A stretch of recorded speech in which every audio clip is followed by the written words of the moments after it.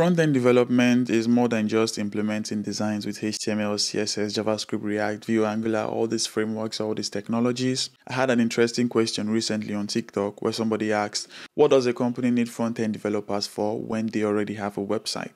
My response to this person was that a website or web development generally has so many moving pieces. So in this video, I'll be sharing a non-exhaustive list of 9 responsibilities that are associated to front-end development. Hi and welcome back to my YouTube channel. If this is your first time here, my name is Dillion and on my space I share my experiences in my technical career as a software engineer, developer, advocate and a content creator and I also share my experiences in my life. So if these are things you'd love to see more of, then kindly hit the subscribe button if you haven't already. As I said earlier in this video, I'll be sharing 9 responsibilities that can be associated to front-end development and this may be different per company. I mean, not every company may apply these nine responsibilities for front end developers. Some companies may even dedicate some part of these responsibilities to another team. But on a general scale, these are nine things that I believe front end developers will be responsible for in different companies. The first item on the list, which is kind of the obvious one, is implementing designs. This can be using frameworks like React, JavaScript, Angular, Vue, or even HTML or CSS, the designer does a design of how a home page should look like, how different components, how different assets, how different pages should look like, and the front-end developers will be responsible for implementing these on the company's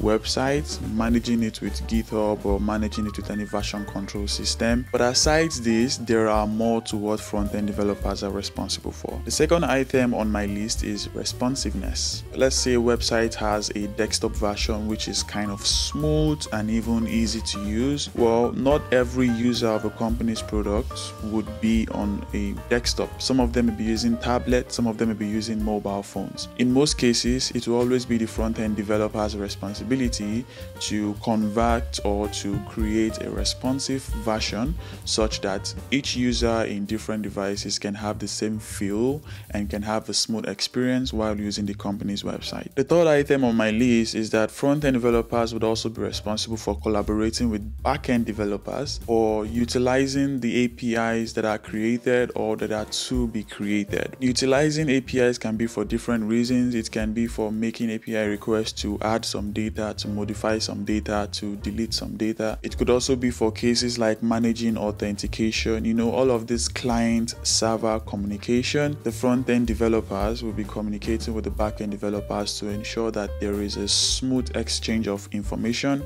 between the browser and the server. The fourth responsibility of front end developers in most companies is writing tests for the applications that they create. Tests are very important because so many things can go wrong. Your users can enter data that you may not expect them to enter, or they may try to do something that you may not expect them to do. Or it could be various unfortunate or unexpected situations that can happen.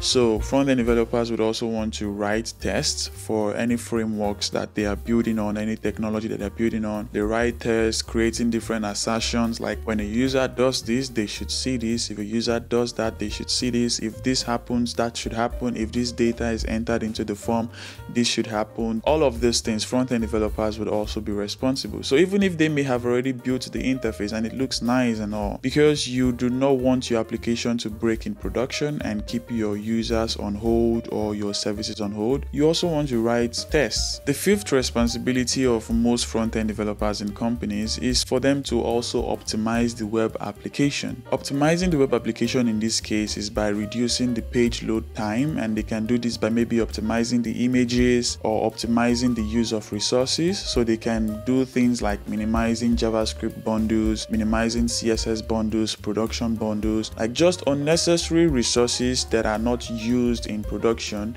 they can take them away during the build process. So they would have to set up a system for that. There are different mechanisms, there are different tools you can use, there are different ways you can write your code. Yeah, there are just different approaches to optimizing web applications. Front-end developers might also be responsible for this. So they may have built the UI, they may have made it responsive, they may have written the test for it, but to also improve user experience on that website or web application, it also needs to be optimized. The sixth responsibility of most front-end developers in companies is ensuring that websites are accessible. There are different users that use this application. Some of them may have some form of disability or some form of challenges. Maybe their mouse is not working, maybe their screen is not clear.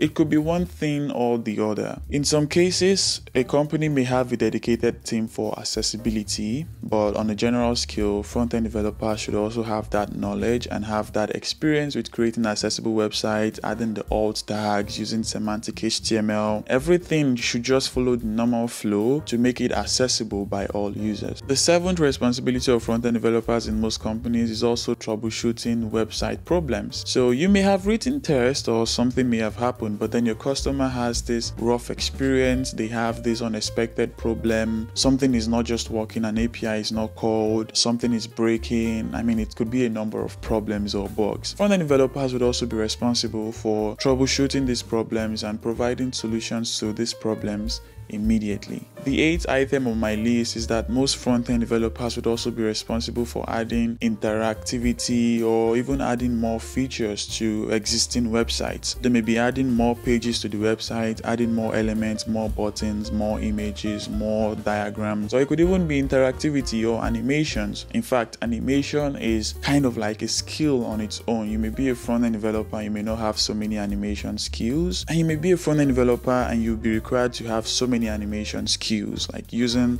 frameworks like GSAP or I mean I think there are a number of libraries you can use. The last item on my list which is number 9 is creating email templates. This could be email templates for product announcements, it could be for release announcements, it could be what are we lacking in our website? All those kind of feedback emails. It could be for a number of ideas. In some companies they may have a dedicated team for email templates or they could even outsource it or they could just buy an already existing template. But some front-end developers may also be responsible for this. So this is a non-exhaustive list of nine responsibilities and it could be different per company per company like i said earlier. There are so many moving pieces in front-end development and it's not just implementing designs with HTML or with your favorite frameworks. There are so many things happening in websites, even down to the network resources, down to bundling, down to security. There are just